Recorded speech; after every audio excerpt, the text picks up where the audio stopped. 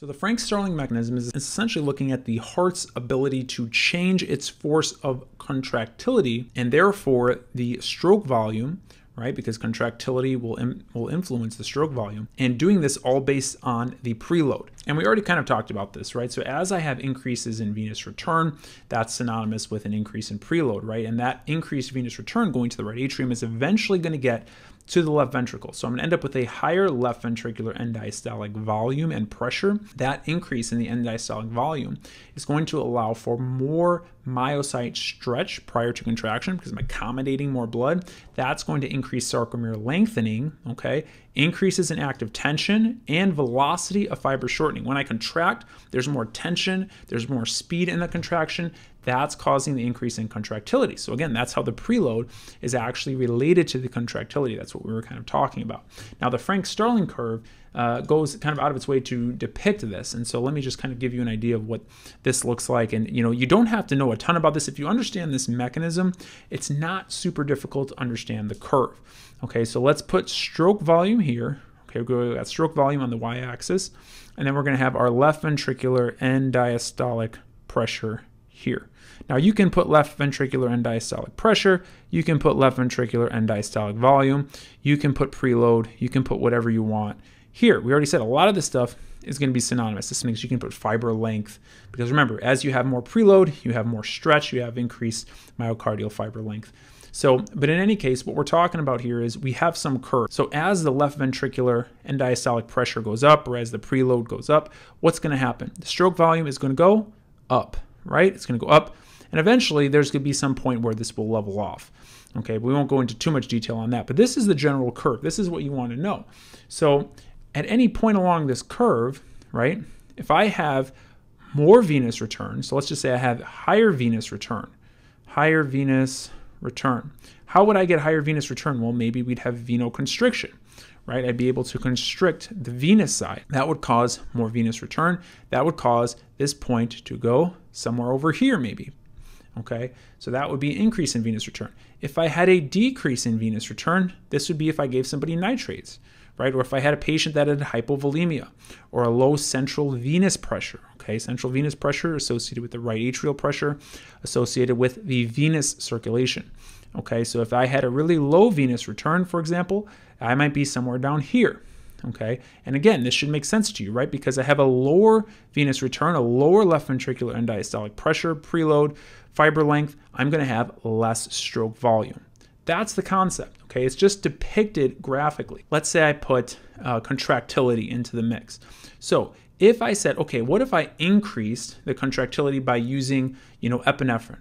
Let's say I gave my patient epinephrine, and that's going to increase the contractility, okay? Or I can give the patient digoxin. Remember, that's another classic one. If I give the patient digoxin, these are going to increase the contractility. So if I give the patient these drugs, what's going to happen to this curve?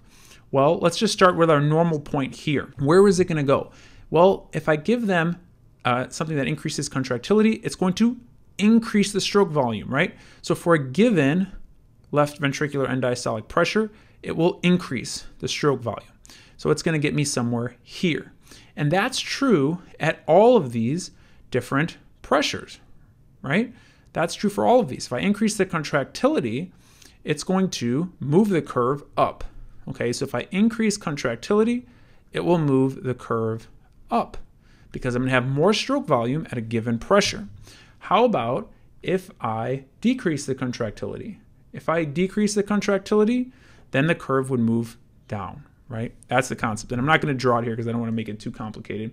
Okay, so now what about afterload? What if I said, you know, let's give the let's give a patient, uh, you know, hydralazine. Okay, and we already said what does hydralazine do? Primarily, it's going to be an arterial vasodilator. So it's going to decrease the total peripheral resistance, right? It's going to decrease the afterload. How will a decreased afterload affect the stroke volume? It will increase the stroke volume, right? So for a given left ventricular end diastolic pressure, it will increase the stroke volume. Same thing we saw with contractility, right? It's going to get you up had a higher stroke volume for a given preload. So if I decrease the afterload, I'm going to end up on this curve as well. Okay, so I'm going to get a leftward shift if I increase contractility or decrease afterload.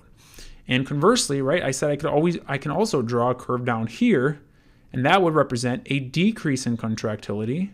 I'll put a decrease in C or an increase in afterload. Okay, because it would just be a lower stroke volume at a given end diastolic pressure. So that's the concept. So just to recap that here, okay, so the x-axis is what we saw here. That's primarily going to be, you know, associated with the preload. The y-axis is primarily going to be associated with the stroke volume. The slope of the curve is going to be defined by the afterload and contractility. Okay, so I might have a higher sloping curve, right, if there's a higher contractility or a lower afterload. The point along the curve, the point that we're at when we looked at these green dots here, the point along the curve is defined by the venous return. More venous return, higher stroke volume. Okay, so that's the concept of the Frank Starling curve. That's what all this stuff is talking about. So to summarize this, anytime I have a graph in any question, and I'll definitely talk about this in the next video where we have lots of graphs, anytime you have a graph, look at the x-axis, look at the y-axis, and just think about it intuitively. You don't have to memorize all this stuff. If they say, hey, I gave this patient a drug that increases contractility, well, you're probably expecting a higher stroke volume then, right?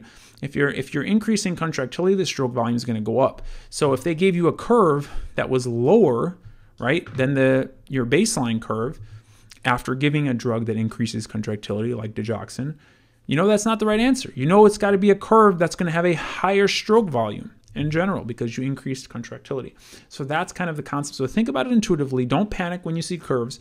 Look at the x and y axis and try and figure out does my answer make intuitive sense with what I'm seeing?